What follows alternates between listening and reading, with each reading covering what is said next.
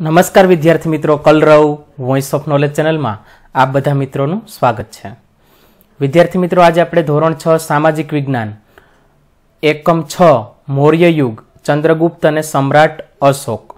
તો પહેલા ભાગનો અભ્યાસ આપણે પાર્ટ વનનો અભ્યાસ અગાઉ કરી ગયા છે, જે તમને પ્લેલિસ્ટમાંથી સરળતાથી મળી રહેશે. તો આપણે બીજા ભાગના અભ્યાસની શરૂઆત કરીએ. એ પહેલાં તો જો તમે આપણી ચેનલ ઉપર નવા હોય તો ચેનલને સબસ્ક્રાઇબ કરી લેજો અને બે લાઇકન પ્રેસ કરો. ત્યાં તમે ઓલ નોટિફિકેશન સિલેક્ટ કરી લેશો એટલે આપણી ચેનલની તમામ અપડેટ્સ સૌ પહેલાં તમને મળી રહેશે. તો હવે આપણે એકમની શરૂઆત કરીએ. પાર્ટ ટુની અંદર બિંદુસાર બિંદુસાર ઈસવીસન પૂર્વે બસો સત્તાણુંથી ઈસવીસન પૂર્વે બસો તોતેર. ચંદ્રગુપ્તના અવસાન બાદ તેનો પુત્ર બિંદુસાર મગધની ગાદીએ આવ્યો. પિતા ચંદ્રગુપ્ત તરફથી વારસામાં મળેલું વિશાળ સામ્રાજ્ય યથાવત ટકાવી રાખી તેની ભેટ પુત્ર અશોકને આપી.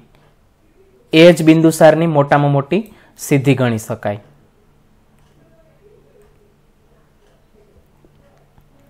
બિંદુસારના શાસનકાળમાં રાજકુમાર સુસીમની, તક્ષશિલાના અને રાજકુમાર અશોકની અવંતીના રાષ્ટ્રીય એટલે કે રાજ્યપાલ તરીકે નિમણૂક થઈ હતી.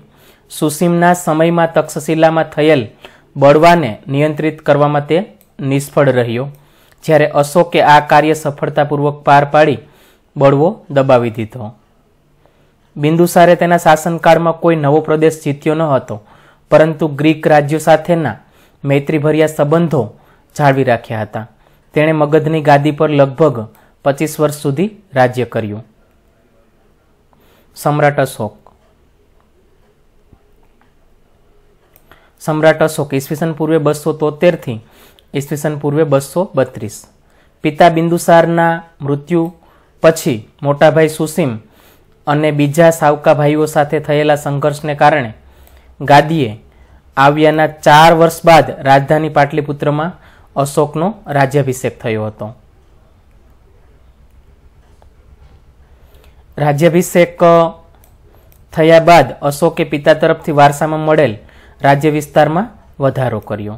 તેના શિલાલેખમાં જણાવ્યા મુજબ, તેનું સામ્રાજ્ય વાયવ્ય સરહદે આવેલા કંદહાર અને પેશાવરથી ઉત્તર ભારતમાં નેપાળ સુધી, દક્ષિણે મૈસૂર, એટલે કે હાલનું કર્ણાટક સુધી, પશ્ચિમે ગુજરાત, સૌરાષ્ટ્ર સુધી, પૂર્વમાં મગધ, એટલે કે હાલનું બિહાર અને કલિંગ, એટલે કે હાલનું ઓડિશા સુધી ફેલાયેલું હતું.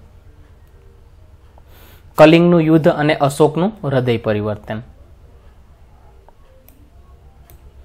મગધની પાડોશમાં, મગધની પડોશમાં આવેલ કલિંગ, હાલનું ઓડિશા, નંદ રાજાઓના સમયમાં મગધ સામ્રાજ્યનો જ એક ભાગ હતું. પરંતુ મૌર્ય શાસનની સ્થાપના સમયે તે સ્વતંત્ર થઈ ગયેલું. કલિંગને ફરીથી મગધ સામ્રાજ્યનો ભાગ બનાવવાની મહત્વાકાંક્ષા રાખનાર અશોકે રાજ્યાભિષેક પછીના આઠમા વર્ષે ઈસવીસન પૂર્વે બસો એકસઠમાં કલિંગના રાજા જયંત સામે યુદ્ધ જાહેર કર્યું. આ યુદ્ધમાં અશોકનો વિજય થયો. યુદ્ધમાં વિજય મેળવ્યા બાદ યુદ્ધભૂમિ અને નગરમાં ફરતા અશોકે બધે જ દુઃખ અને શોકનું વાતાવરણ જોયું. યુદ્ધમાં થયેલ ખુવારી અને સ્ત્રી બાળકોને રડતા જોઈ કલિંગ પર મેળવેલી જીતનો આનંદ ઓસરી ગયો. અશોકના મનની શાંતિ હણાઈ ગઈ. યુદ્ધમાં થયેલી ખુવારીના કારણે અશોકના હૃદયમાં ભારે સંતાપ અને પશ્ચાતાપની લાગણી જન્મી. યુદ્ધની નિરર્થકતા સમજાઈ જવાને કારણે કલિંગનું યુદ્ધ તેના જીવનનું અંતિમ યુદ્ધ બની રહ્યું. બૌદ્ધ સાધુ ઉપગુપ્તના ઉપદેશથી તેણે શસ્ત્રોનો ત્યાગ કરી, શાસ્ત્રોનું શરણ લીધું, બૌદ્ધ ધર્મ અંગીકાર કરી. અશોક રાજદ્વારી પુરુષમાંથી ધર્માનું રાગી અશોક બની ગયો. અશોક પહેલો એવો શાસક હતો જેણે શિલાલેખો દ્વારા પોતાનો સંદેશ પ્રજા સુધી પહોંચાડવાનો પ્રયત્ન કર્યો. અશોકના મોટાભાગના અભિલેખોની ભાષા પ્રાકૃત અને લિપિ બ્રાહ્મી છે. તો વિદ્યાર્થી મિત્રો, હવે બાકીના એકમનો અભ્યાસ આપણે ભાગ ત્રણ, પાર્ટ થ્રી અને પાર્ટ ફોરની અંદર કરવાનો છે. તો ચાર ભાગની અંદર આ પાઠનો અભ્યાસ, આ એકમનો અભ્યાસ આપણે કરવાનો છે. તો જો તમને અમારા વીડિયો પસંદ આવતા હોય તો લાઈક કરજો, કોમેન્ટ કરજો. અમને આ રીતે તમે પ્રોત્સાહન આપતા રહેજો.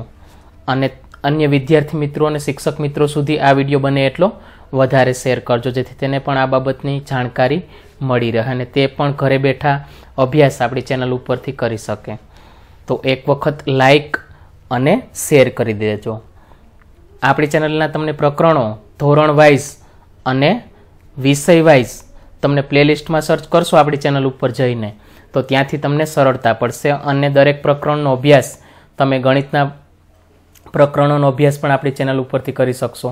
સામાજિક વિજ્ઞાનના પ્રકરણો પણ મળી રહેશે ત્યાંથી તમને ધોરણ વાઇઝ અને વિષય વાઇઝ આ ઉપરાંત જીકે વિવિધ સહાય યોજનાઓ, બેંકને લગતા વીડિયો, ખેડૂતને લગતા વીડિયો, ખેડૂતને લગતી સહાય યોજનાઓના વીડિયો તો આ બધું આપણી ચેનલ ઉપરથી તમને સરળતાથી પ્લેલિસ્ટમાં સર્ચ કરશો એટલે ત્યાંથી મળી રહેશે. તો કોમેન્ટ કરી અમને પ્રોત્સાહન પણ આપતા રહેજો લાઇક કરજો, શેર કરજો અને આપણી ચેનલ કલરવ વોઇસ ઓફ નોલેજને સબસ્ક્રાઈબ કરવાનું પણ ભૂલતા નહીં. આભાર મિત્રો.